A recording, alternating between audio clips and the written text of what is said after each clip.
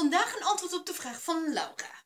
Laura wil graag gewicht verliezen. En Laura weet dat je enkel gewicht zult verliezen wanneer je calorie-inname, dus je inname van calorie-leverende voedingsstoffen, lager is ten opzichte van het verbruik in je lijf. Alleen, nu heeft Laura begrepen dat um, het verbruik van calorieleverende voedingsstoffen in je lijf heel laag zal zijn. Met als gevolg dat uh, je niet al te makkelijk, niet al te snel gewicht zult verliezen.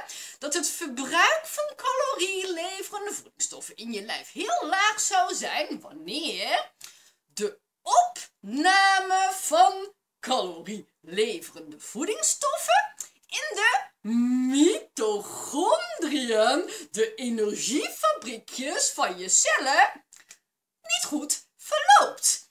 Dus begrijpt Laura dat wanneer ze haar calorieinname beperkt, dus haar inname van calorieleverende voedingsstoffen beperkt, maar de opname van calorieleverende voedingsstoffen in de mitochondriën energiefabriekjes van haar cellen verloopt niet goed, dan zal alsnog uit die beperkte calorie inname geen gewichtsverlies volgen, want gewichtsverlies is het gevolg van een lagere calorieinname ten opzichte van het verbruik in je lijf. Maar dan moet dus wel het verbruik in je lijf hoog zijn. En dat is het helaas niet wanneer de opname van calorielevende voedingsstoffen in de mitochondriën energiefabriekjes van je cellen niet goed verloopt.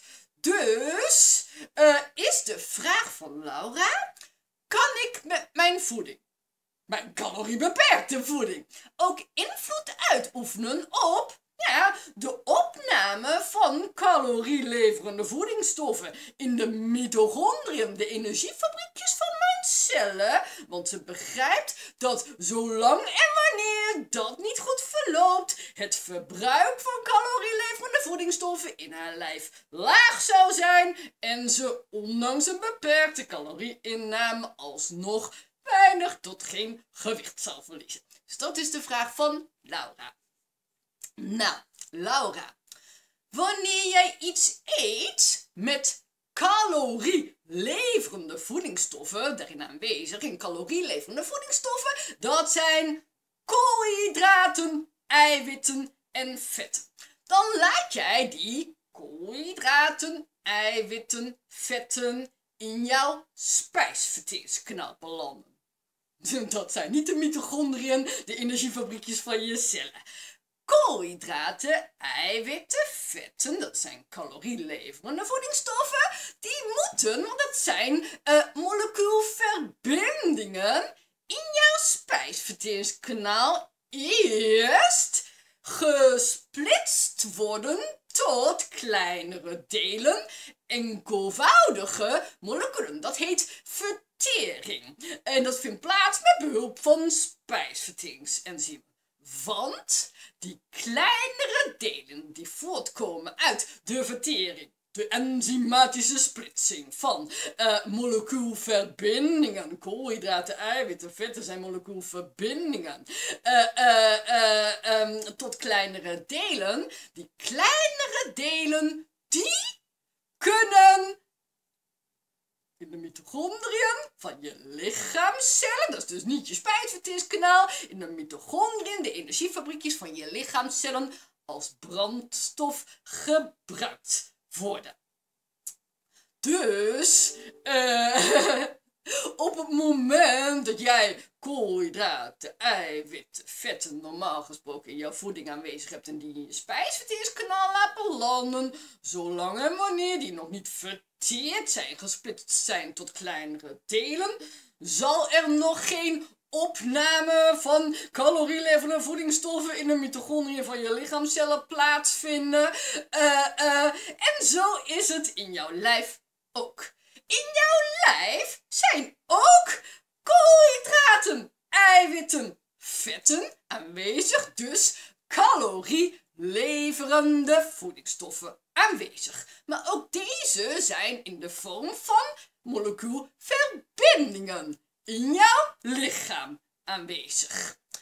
Op het moment dat jij je calorieinname beperkt, dan wordt de afbraak, vertering, enzymatische splitsing van je koolhydraatreserves, glycogeenreserves en vetreserves gestimuleerd. Maar ook dat zijn dus verbindingen.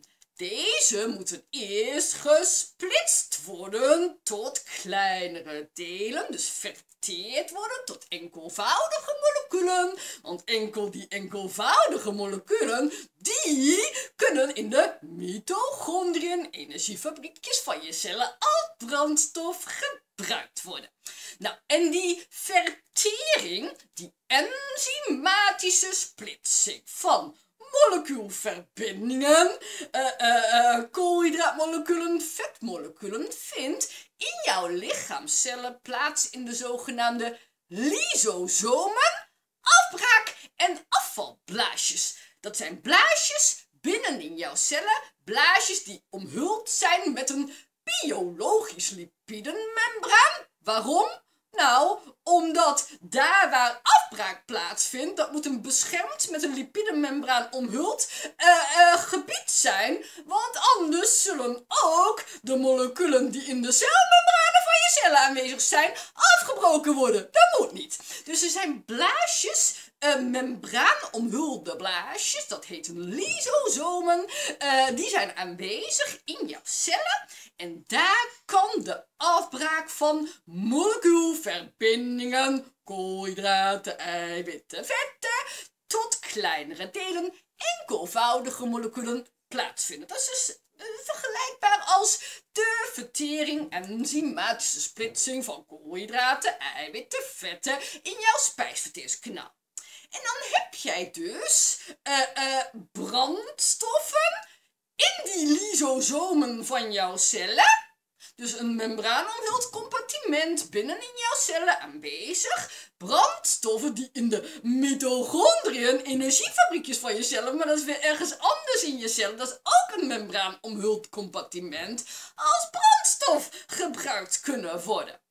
Dus op het moment dat koolhydraten, eiwitten, vetten in de lysosomen, afbraak- en afvalblaasjes, een soort van spijsverteringskanaal, binnen in jouw cellen, afgebroken, zijn tot kleinere delen, heb jij brandstoffen daar in die lysosomen, maar die moeten dus verbrand worden in de mitochondriën, energiefabriekjes van je cellen. Dat is een ander membraan omhuld compartiment op het moment dat uh, de brandstoffen die in de lysosomen, afbraak- en afvalblaasjes van je cellen gevormd zijn, niet getransporteerd kunnen worden van dat lysosoom naar de mitochondriën, dan gaan ze niet in de mitochondriën opgenomen worden. En op het moment dat ze ook niet getransporteerd kunnen worden door het membraan van de mitochondriën, ook dan gaan ze niet in de mitochondriën opgenomen worden is het verbruik van calorieleverende voedingsstoffen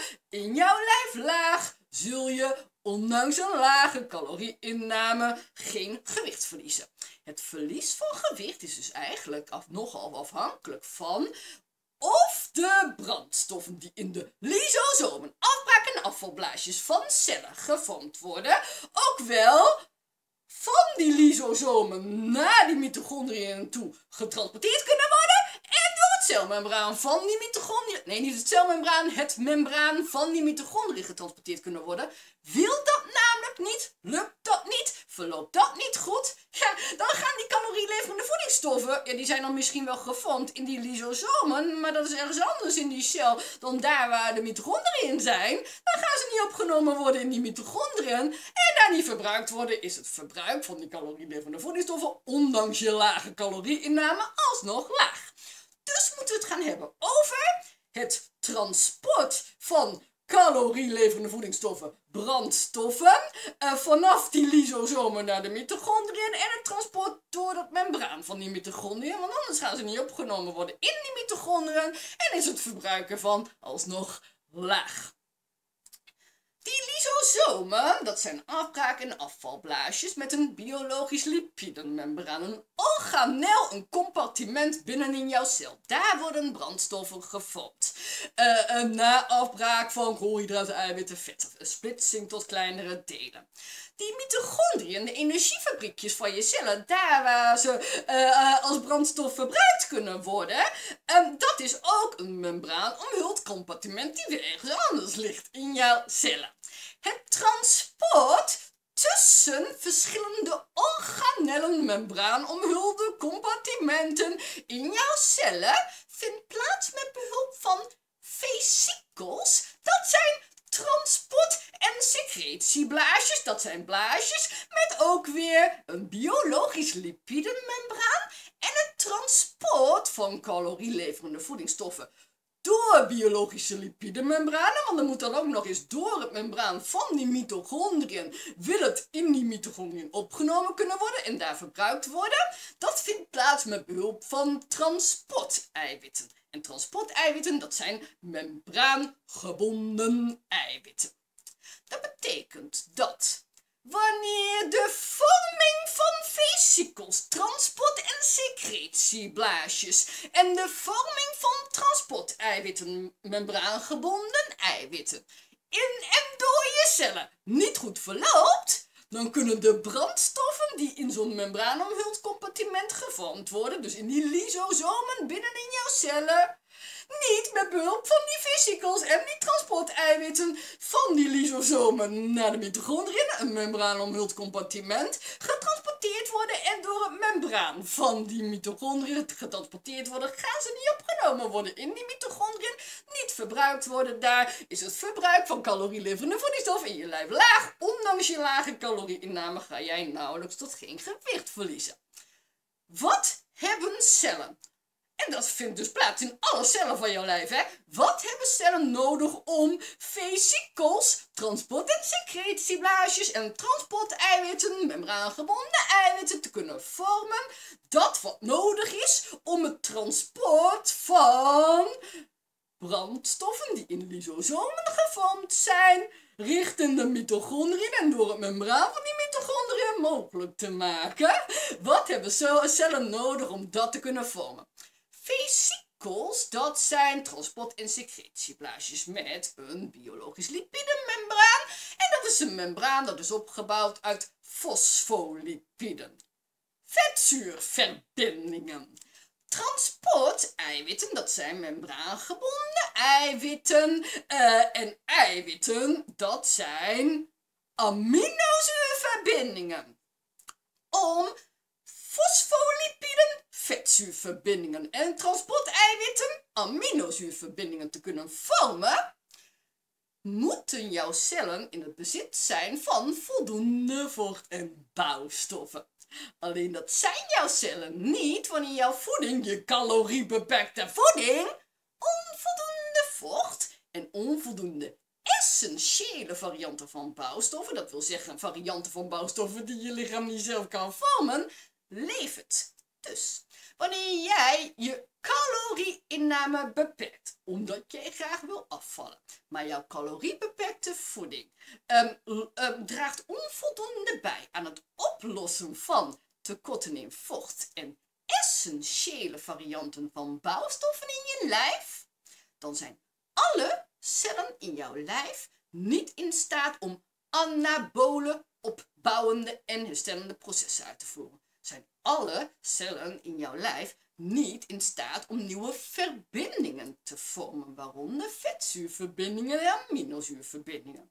Zijn alle cellen in jouw lijf niet in staat om vesicels, transport- en secretieblaasjes te vormen, met een lipidemembraan is opgebouwd uit vetzuurverbindingen en transporteiwitten, membraangebonden eiwitten te vormen, die zijn opgebouwd uit aminozurenverbindingen. Um, um, zijn die cellen dus niet in staat om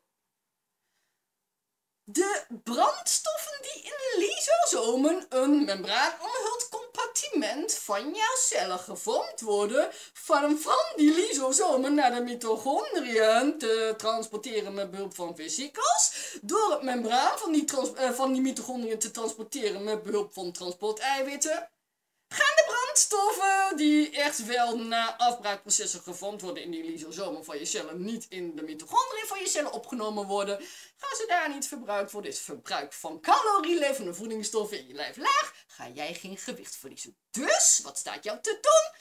Voortdurend bijdragen aan, of jij nu een caloriebeperkt dieet volgt of niet, aan het oplossen van tekorten in vocht en essentiële varianten van bouwstoffen in je lijf want dat hebben alle cellen nodig. Bouwstoffen en vocht hebben alle cellen nodig om het transport vanuit een bepaald celcompartiment, zoals de lysosomen in jouw cellen, naar andere celcompartimenten, zoals de mitochondriën van je cellen, mogelijk te maken. Dat als antwoord op je vraag.